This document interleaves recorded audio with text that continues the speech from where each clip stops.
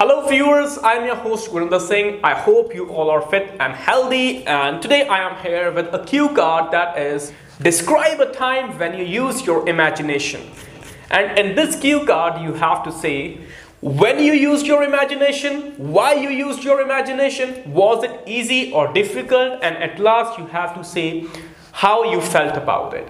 So बहुत ही easy cue card है सबसे पहले थोड़ा वियर्ड सा ज़रूर है कि अपने कब इमेजिनेशन यूज़ की बहुत सारे ऐसे टाइम होते हैं जब हम इमेजिनेशन यूज़ करते हैं सो गाइस एज यूजुअल मैं सबसे पहले आपको एक एक्सप्लेनेशन दूँगा उसके बाद आपको दूँगा एक sample answer but before that I want to request you that guys if you find this information useful and beneficial for you that consider subscribing and press the bell icon so that you can get the latest updates so imagination के बारे में हमने start करना है। इस Q card को हम start कर सकते हैं कुछ इस तरह से कि बहुत बार हमें इमेजिनेशन यूज़ करनी पड़ती है बहुत चीज़ों के लिए। फॉर एग्जांपल जब हम ड्राइंग कर रहे होते हैं, जब हम कोई प्रोजेक्ट वर्क कर रहे होते हैं, या हम कई बार किसी को स्टोरी सुना रहे होते हैं, या इसके अलावा सबसे इंपॉर्टेंट जब हम कहीं पे जा रहे होते हैं ट्रैवल कर रहे होते हैं, उस वक्त बहुत ज़्यादा हम इमेजिनेशन इमेजिन करते हैं चीज़ों को,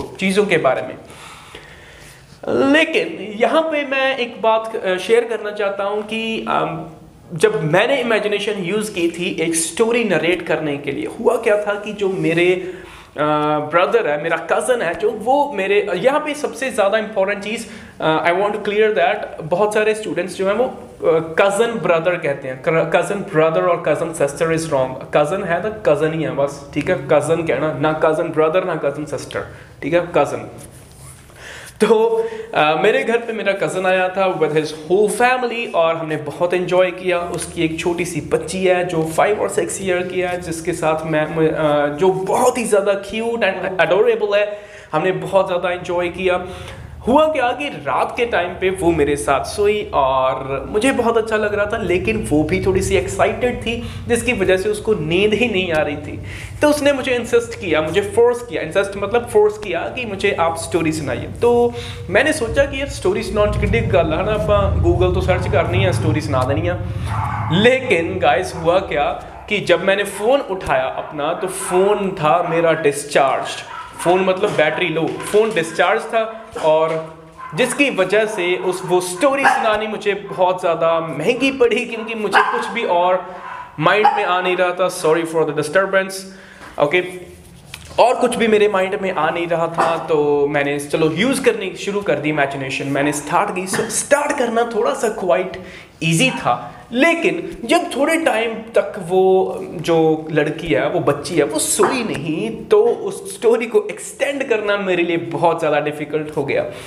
लेकिन Uh, मुझे लगा कि it's a hard not to crack so this is the idiom that I have use in it hard not to crack मतलब ये बहुत औखा काम सीधा ठीक है? ते it's it was a hard not to it's a hard night to crack despite that इसके बावजूद मैंने उसको एक्सटेंड किया लगभग 10 मिनट तक। और फाइनली वो सो गई and I got satisfied that चल सोगी हूँ so this was the time when I use the imagination now let's start with the sample answer guys i hope you find it useful for you and do not miss even a second because sometimes some words can be useful for you so let's start well there are ample of times when we have to use our imagination like while drawing making projects, narrating stories, and most often while traveling. Here I would like to talk about a situation when I used my imagination to develop a story. Actually, I was at my home and suddenly my cousin came with his family and it was an incredible surprise for us. We all had a lot of fun.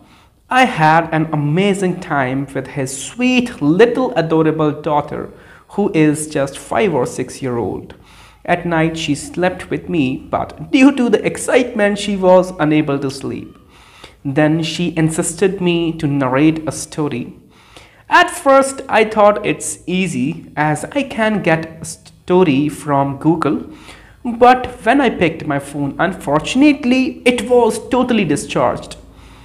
Then I used my imagination and tried to make a story on the spot. Honestly, starting the story was quite simple, but after some time, when she didn't slept, then it was extremely difficult to stretch it. I must say that making a story is really hard nut to crack. Despite that, I kept on going for about 10 minutes. Finally, she slept and I felt satisfied. So this was a time when I used my imagination. So guys, here I end up with this video. I hope that it's beneficial for you. If yes, do not forget to smash the like button and share it with your friends. Thank you for watching.